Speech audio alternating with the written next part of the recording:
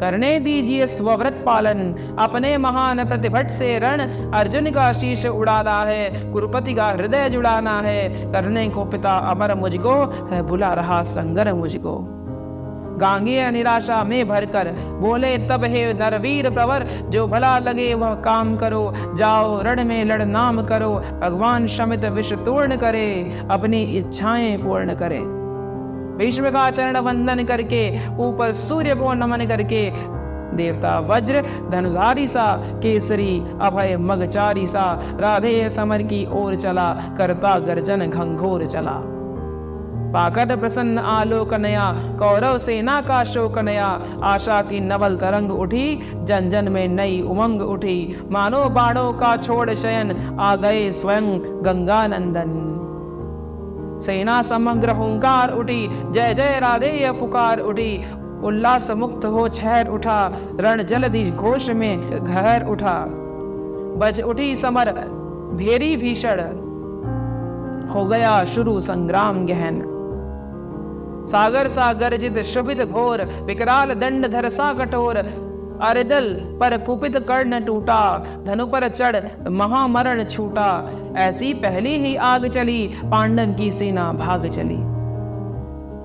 झंझा की घोर झकोर चली, डालों को तोड़ मरोड़ चली। पेड़ों की जड़ टूटने लगी, हिम्मत सबकी छूटने लगी। ऐसा प्रचंड तूफ़ान उठा, पर्वत का भी हिल प्राण उठा।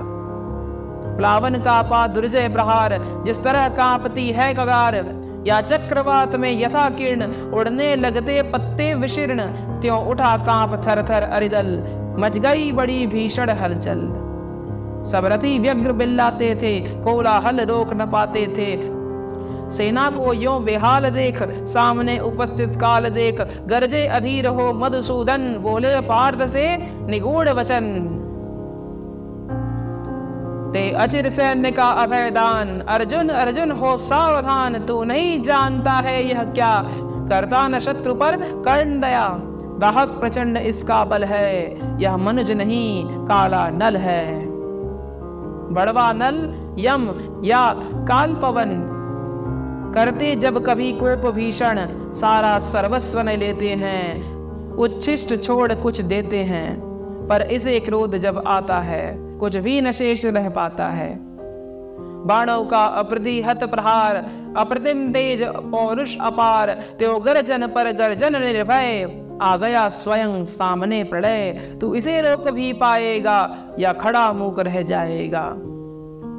अब इसके आगे क्या हुआ, ये जानने के लिए और इस वीडियो के अगले भाग को देखने के लिए यहाँ पर क्लिक करें।